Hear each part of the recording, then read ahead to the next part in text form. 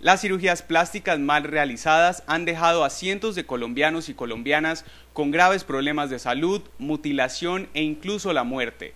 Es por esto que el Ministerio de Salud formuló un proyecto de ley con el que pretende regular la cirugía plástica con fines estéticos.